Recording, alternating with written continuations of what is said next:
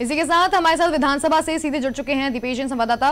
तमाम वहाँ की, तमाम ताज़ा अपडेट के लिए। दीपेश, क्या कुछ आपको वहाँ पर देखने को मिल रहा है? सुरक्षा व्यवस्था है जो बदल दी गई है और इस वक्त क्या कुछ कोरोना काल में वहाँ पर आपको तस्वीरें देखने को मिल रही है।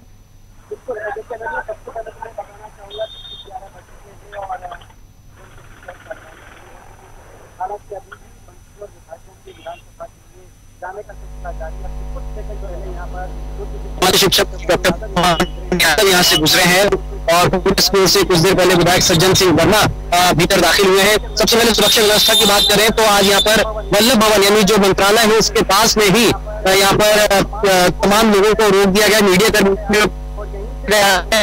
इससे तमाम लोग जा रहा है। जो विधानसभा के कर्मचारी हैं जाने दिया जा रहा है। किस तरीके से यहाँ पर कुछ करके लोगों को लौटाया जा रहा है। हालाँकि इसमें थोड़ा सा कह सकते हैं अनन्या की बद इंतजामी है। अगर पहले ही आज सूचना दी जाती विधानसभा सत्र के चलते तो यहाँ पर इस तरह की ट्रैफ़िक व्यवस्था रहेगी तो शायद लोग यहाँ से नहीं गुजरते, लेकिन वो ये रहा है कि हर दिन की तरह सोमवार की सबसे बिज़ी डे होता है, हफ़्ते का पहला दिन होता है। तो बड़ी संख्या में लोग इस रास्ते के ज़रिए सिटी की तरफ़ जाते हैं या फिर न्यू मार्केट की तरफ़ जाते हैं तो आज उनको काफ़ी परेशान होना पड़ रहा है। कुछ लोग इस तरह से डाइवर्ट होकर के यहाँ से गुजर रहे हैं। और बाकी लोगों को यहीं से फिर लौटाया जा रहा है। तो ये थोड़ी सी यहाँ पर कह सकते हैं कि थोड़ी सी व्यवस्था बिगड़ी है। मीडिया कर्मियों को, जो अक्सर हम लोग अनन्या विधानसभा के बाहर से लाइव करते थे या फिर भीतर से हम जो लाइव दिखाते थे, वो इस बार नहीं हो पा रहा है। तमाम मीडिया कर्मियों को भी इस बार बाहर ही काफ़ी दूर करीब आधा किलोमीटर आगे रोक दिया गया है और कोरोना काल के चलते ये व्यवस्था यहाँ पर बनाई गई है। दूसरी बात ये कि सुनीता पटेल अंदर विधान सभा में गांधी प्रतिमा जो है, वहाँ पर नीचे धरने पर बैठ चुके हैं। हालाँकि क्योंकि मीडिया कर्मियों को नहीं जाने दिया जा रहा, लिहाजा उनसे अभी बात नहीं हो पा रही कि वो कब तक इस तरह से धरना देती रहेंगी? क्या क्या शर्तें उनकी क्या मांगे को हटाने की जो गार्डर वाला में वो एक मुद्दा दरअसल आज के सत्र में और क्या खास बातें हैं? कौन कौन से विधेयक आज पेश होने इस पर चर्चा के लिए हमारे साथ हमारे एग्जीक्यूटिव एडिटर महेंद्र विश्वकर्मा जी भी जुड़ गए। सर तो आज का ये सत्र कितना खास? देखिए, आज का ये सत्र इसलिए खास है कि भारत के इतिहास में मध्य प्रदेश ऐसा पहला राज्य होगा जहाँ पर जो वर्चुअल व्यवस्था से विधानसभा संचालित होगी। कोरोना का इफ़ेक्ट विधानसभा में, मध्य प्रदेश की विधानसभा में देखा जा रहा है और मध्य विधानसभा का एक ऐसा सत्र होगा जहाँ सिर्फ़ बाईस विधायक जो है, कांग्रेस के होंगे और इसके अलावा सोलह विधायक, भाजपा के सोलह मंत्री जो है वो भाजपा के होंगे और तीस विधायक भाजपा के होंगे। कुल मिला के संतावन विधायकों के मौजूदगी में विधानसभा सत्र का जो है आयोजन होगा। यहाँ विशेष बात यह है कि पहले विधानसभा सत्र से पहले जो कार्य जारी की गई विधानसभा की ओर से उसमें लगभग चौदह विधेयकों का ज़िक्र था जो चौदह विधेयक भाग देखें जो है उसको शॉर्ट किया गया और नौ विधेयक जो है उसके ड्रॉप किए गए। अब केवल चार विधेयक जो है उसमें संशोधित करके पास होंगे। जगदीश देवड़ा जो है, वो थोड़ा अस्वस्थ चल रहे हैं कार्यभार जो है संसदीय कार्य मंत्री डॉक्टर नरोत्तम मिश्रा संभालेंगे और वो चार विधेयक, जो चारों विधेयक हैं, जिसमें जो शिक्षण विधेयक होगा और और आपका विधेयक होगा, ऐसे चार विधेयक जो है, वो विधानसभा के रखी जाएँगे। क्या लगता है आपको मैं जी, हंगामे का जो क्योंकि हम लोग कहते थे कि जब जब फ़सल लगता है, किसी न किसी मुद्दे को लेकर विपक्ष हंगामा करता ही रहा है। बीजेपी जब पंद्रह महीने विपक्ष में रही तो उसमें हर जब भी सत्र लगा तो काफ़ी हंगामा हुआ शोर शराबा हुआ। क्या आज ऐसा लग रहा है कि शॉर्ट एकदम कोरोना काल का जो सत्र है और वित्त विधेयक के लिए खासतौर पर इस विधेयक को इस सत्र चलाना पड़ा है। क्या आज हंगामे कैसे लग रहा है आपको आता है वहाँ पर बनकर देखिए दीपेश इसमें हंगामे जैसा अभी ऐसा कोई मामला सामने नहीं आया लेकिन एक सबसे प्रारंभिक मामला कल से ही जो चर्चाओं में बाढ़ हुआ कांग्रेस विधायक में वो एक डीएसपी से परेशान है और वो गांधी प्रतिमा के पास धरने पर बैठी है। उससे एक ये मैसेज तो जाता है कि कांग्रेस के विधायक जो असंतुष्ट है वो सरकार की जो प्रशासनिक हमला है, उससे असंतुष्ट है। उस मुद्दे को लेकर ज़रूर कांग्रेस थोड़ा बहुत कर सकती है बाकी मुझे नहीं लगता कि कोरोना करने साल में और हालाँकि नहीं सबसे बड़ी बात है कि अब अट्ठाईस सीटों पर उपचुनाव होने क्या उसको लेकर क्योंकि जुबानी जंग शुरू हो चुकी है? और कोई किसी से रिश्ते नाते को लेकर के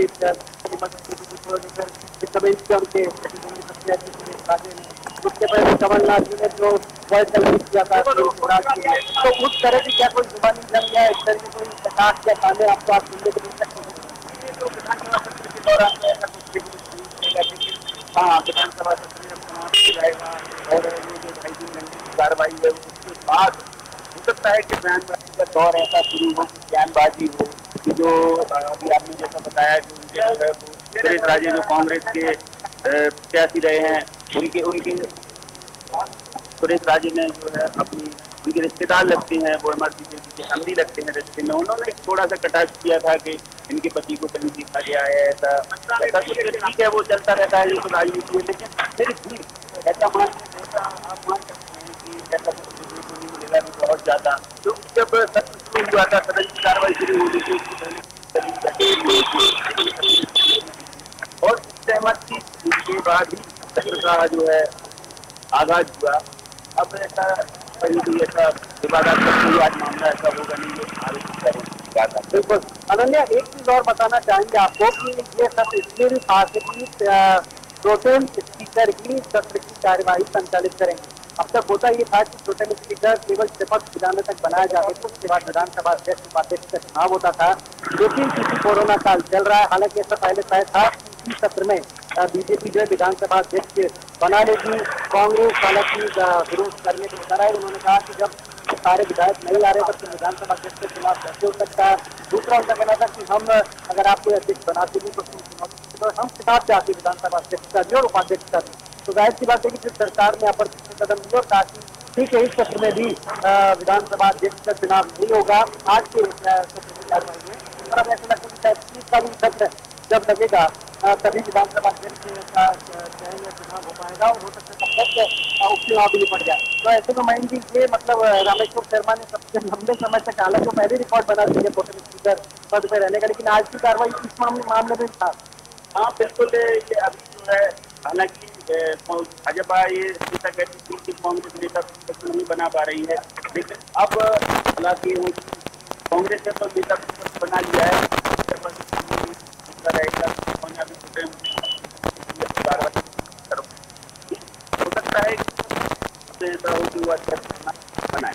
बिल्कुल उसमें नाम चल रहा है, केदारनाथ विधायक है बहरहाल रनिया तो कुल मिलाकर के अभी जो अभी भी हालाँकि मंत्री और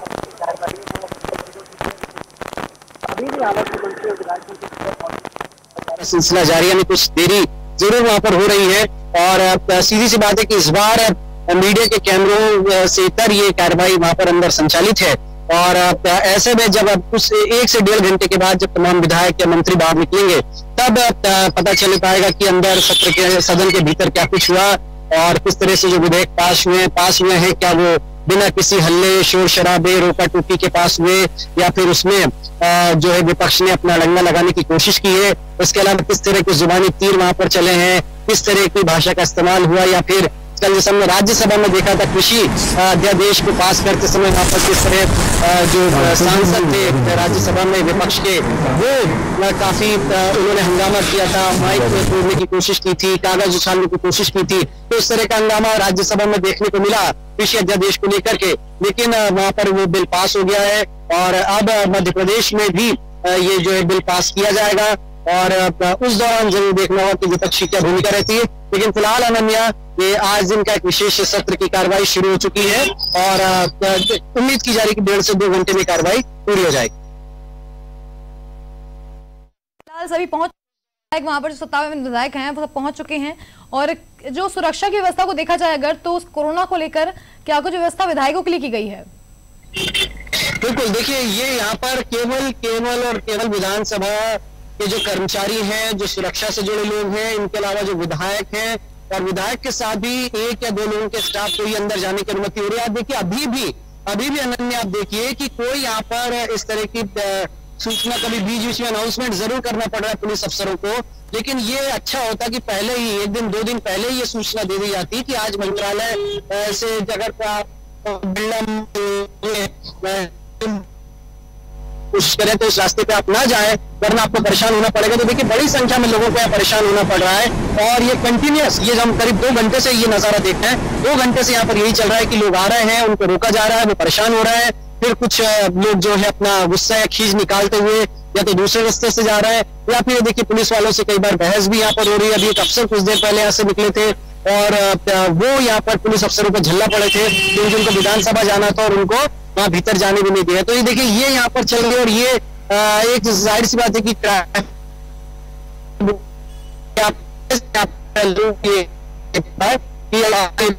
ट्रैफ़िक व्यवस्था बंद रहेगी। विधानसभा के जो रास्ता जाता है, वो आज बंद रहेगा। और दूसरा जो बैरिकेडिंग लगाई गई है, वो बिरला मंदिर के आगे लगाई गई है, वहाँ पर लोगों को रोका जा रहा है, वहाँ से लोगों को लौटाया जा रहा है। तो यह जिस तरह की व्यवस्था है, और देखिए अफसर हो, जब चूँकि लगातार परेशान हो रहे हैं तो वहाँ पर चर्चा भी चल रही है, और सुरक्षा व्यवस्था का हाल आप देख सकते हैं। ये आम रास्ता, जो ये जो रास्ता है अनन्या, इसके पहले विधानसभा सत्र लगते थे, तब भी ये रास्ता खुला रहता था। कभी इस तरह की बैरिकेडिंग नहीं लगाई जाती थी। हाँ इतना ज़रूर होता था कि जो जो सुरक्षा के लिए जो चौकियाँ बनाई जाती थी अपने चौकियाँ ज़रूर वहाँ पर बनाई जाती थी। और जिनमें रेप करके की अगर कोई कोई अफरी घटना पर होती है तो उस स्थिति में निपटने के लिए यहाँ पर ज़रूर जवानों को तैनात किया जाता था। लेकिन आज जो है, यहीं से रास्ता रोक दिया गया है।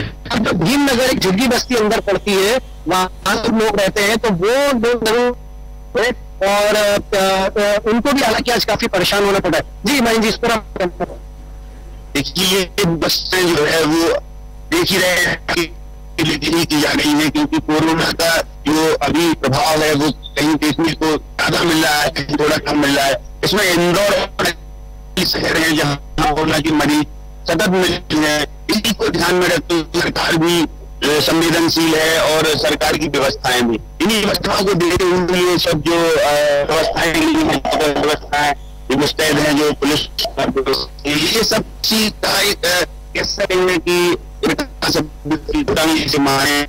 अभी आप देख रहे हैं लॉकडाउन शुरू हो गया है रायपुर रायपुर में कुछ जगहों पे संपूर्ण लॉकडाउन तो ये कोरोना का पूरा समूह आज की विधानसभा में मिला है और इसी का एक परिणाम ये भी है भारत के इतिहास पहली वो वर्चुअल और तरीके से शामिल होंगे और दूसरी बात जो सीमित विधायकों की एक तैयार की है जिसमें बच्ची भूमिका रहेगी। और ये विधानसभा सत्र जो है एक डेढ़ घंटे दो घंटे की कार्रवाई के दौरान सिमट जाएगा। बिल्कुल।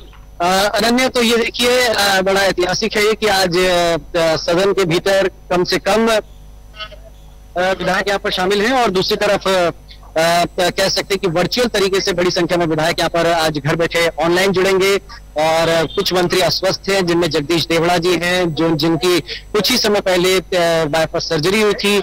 इसके अलावा विजय शाह जी, वो कोरोना पॉजिटिव है और फ़िलहाल वो एडमिट है। तो ये आज की स्थिति है, अनन्या। जी, इसी के साथ दीपेश, एक और सवाल मेरा यहाँ पर आपसे रहेगा कि जो अभी फ़िलहाल सदन का सत्र है, यानी कि आज कोरोना के चलते इतना कम संख्या में वहाँ को, वहाँ पे विधायकों को बुलाया गया है तो बैठने की व्यवस्था क्या कुछ की गई है अंदर? या कोई वहाँ पर ऐसी खबर मिल रही है कि अंदर बैठने की व्यवस्था जो है वो कोरोना काल को देखते हुए कुछ अलग तरीके से रहेगी आज? दीपेश आपको आवाज़ आ रही है हमारी? विधायकों की ये विधानसभा है, और काफ़ी बैठते थे संख्या इसीलिए कम रखी गई है कि करीब जो दो गज की दूरी कोरोना के लिए है ज़रूरी तो वो आज इसका पाल के भीतर भी देखने को मिलेगा। हमने कल भी दिखाया था कि विधानसभा के पूरा तरीके से सैनिटाइज किया गया है कि जो इंच इंच जगह उसको पूरी तरह से सैनिटाइज किया गया है।